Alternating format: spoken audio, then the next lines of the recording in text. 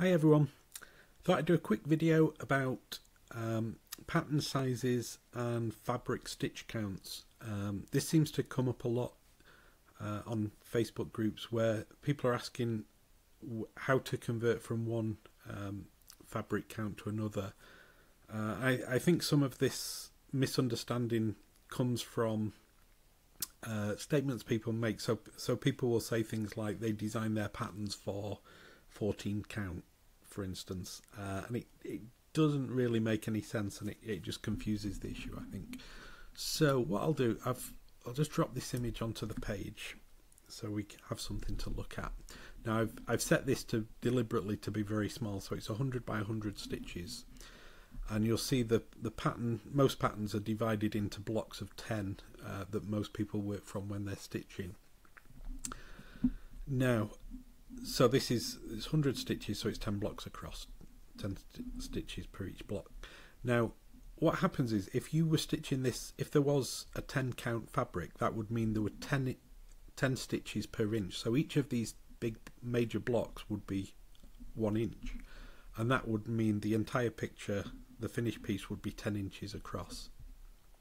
But but you don't typically well they don't make that fa fabric I don't think so say you're stitching on 14 count fabric. What that means is that this is no longer an inch. This would be an inch. So you'd have 14 stitches per inch. Then the next inch would be at the 28 stitch mark. Uh, the next one would be 42 and so on. And that's why you end up with this smaller size. So instead of 10 inches the fabric count's gone up in terms of there's there's more of those stitches for each inch so it's now only going to take seven and a quarter inches to fit that picture in.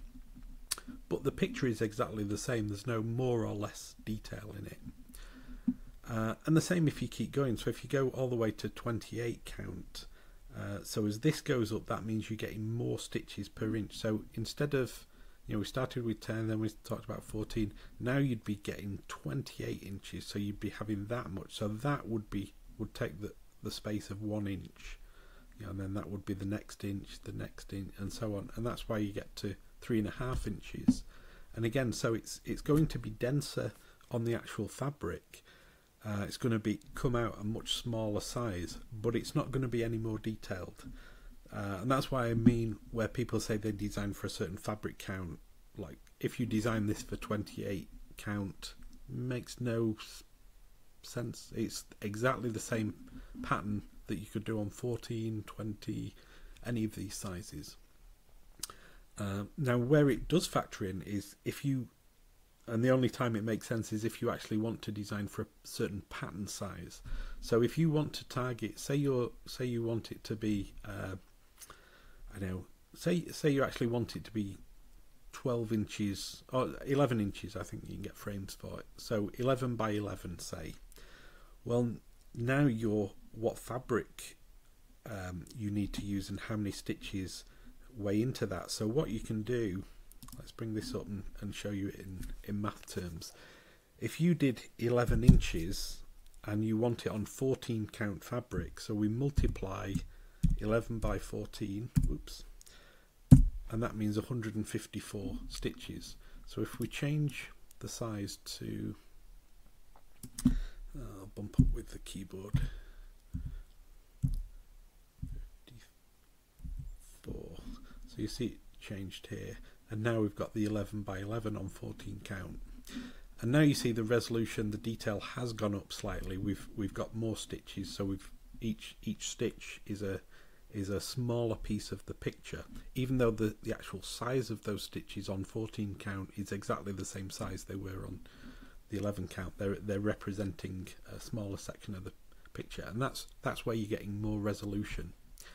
Um, and we can we can do more than that. So, for instance, if we're doing 11 count on 28 inch fabric, well, now we're up to 308.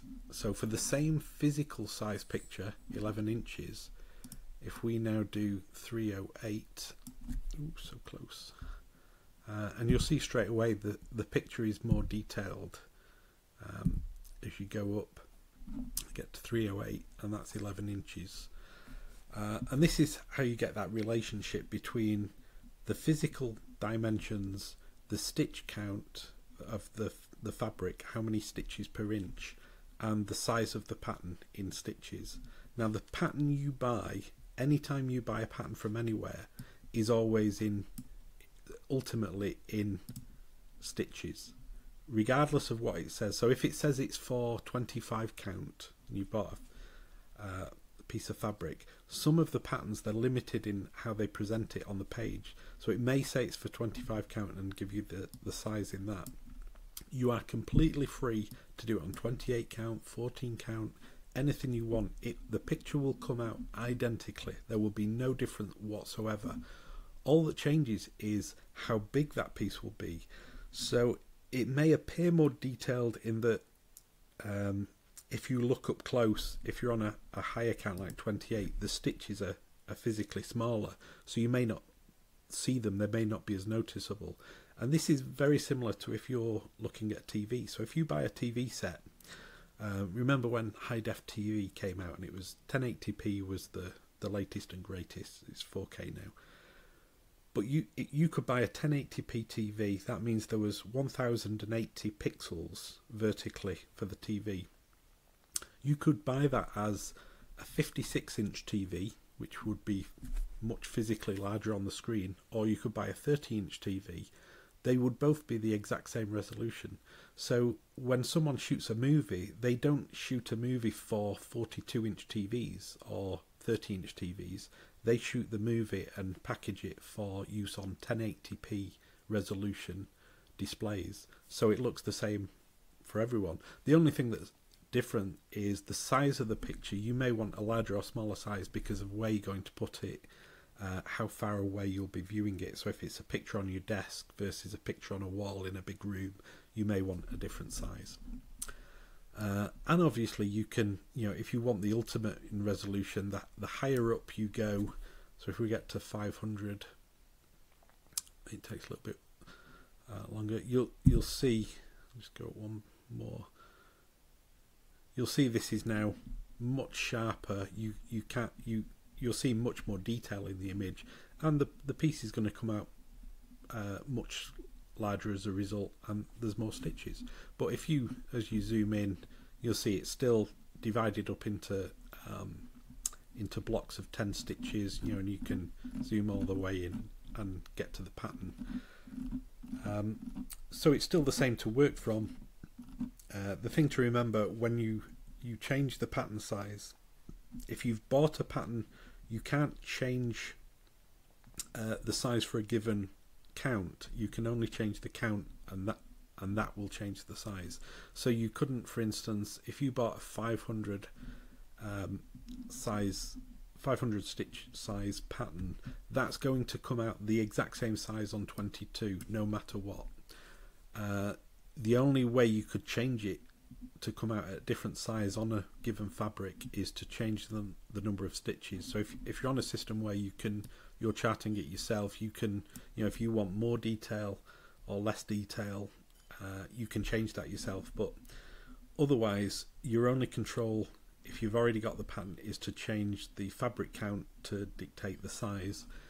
If you're working starting from the size, normally people you may have a given size that you want, you're used to working on a particular fabric, that will kind of dictate how big your picture needs to be. And that's where you make the trade offs between, you know, how nice and detailed um, and sharp you want the image uh, and how much work it's going to be. So I hope that explained it a little bit and wasn't too confusing. Um, if you've got any questions, uh, put them in the comments below. Uh, we'd love if you could subscribe to us and uh, also like our Facebook page, and uh, we'll try and do some more more videos soon. Thank you.